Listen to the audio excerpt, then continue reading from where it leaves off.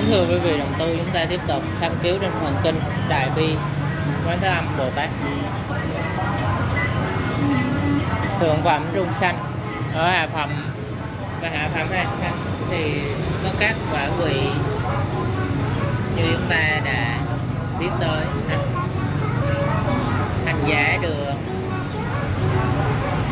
được các vị chư Phật và Bồ Tát tiếp dẫn và thấy tướng hảo sau khi 21 sau khi 24 giờ qua ngày đêm. Lúc này chỉ biết được rằng 32 tướng tốt và 80 vệ đẹp chưa thấy được sự tướng hảo trong khi đó sự hào hào, hào quang của ánh chiếu sáng làm cho chúng ta không tâm thần uy nghi vì các đức phật và quý vị bồ tát đều ở trước mặt, sự hiện diện của các ngài nói lên sự uy nghi vô cùng to lớn.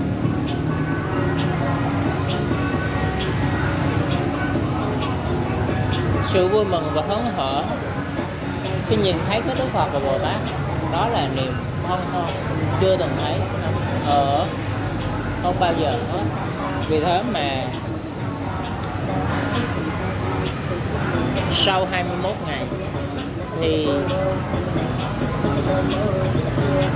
nghe được các âm thanh và các tướng hảo được rõ, hiện rõ nhất.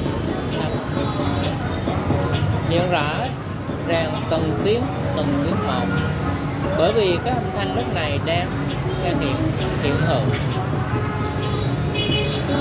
Sự dẫn kinh và thiếu pháp luôn rõ ràng. Không có gì mờ mờ nhạt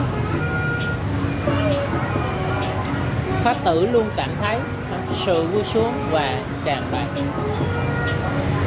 vô cùng.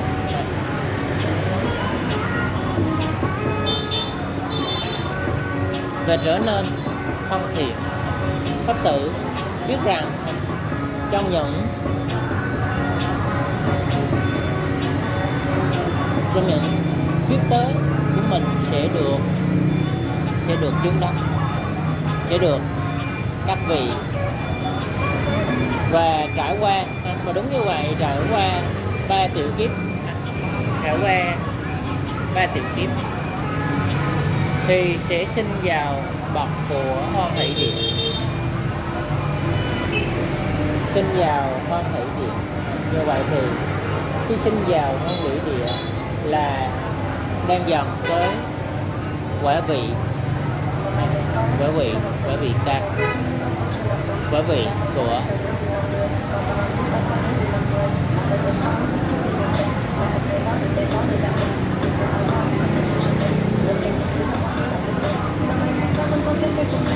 đây là hán và tương lai sẽ là bởi vị phật như vậy thì pháp tử đã biết rằng trải qua ba ba triệu kiếp nữa chứ là pháp tử sẽ sẽ đạt quả vị như vậy thì chúng ta thấy, người được cái pháp tử được, biết được biết được thời gian thời gian. Mà định lượng đỡ để có thể hoàn thành các công đức nguyên nguyên mạng. Như vậy thì chúng ta thấy sự thành trì giữa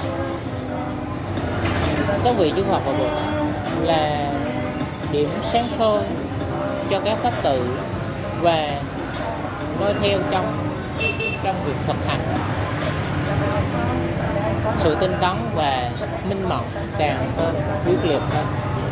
Vì thế, mà các phật tử càng tin yêu một lòng, tin kính và cúng dường các vị chư Phật từ đó mà mà đạt được bách môn. Bách môn. Bởi vì thì con thị con thị gì bách minh môn, đạt được bách minh minh môn.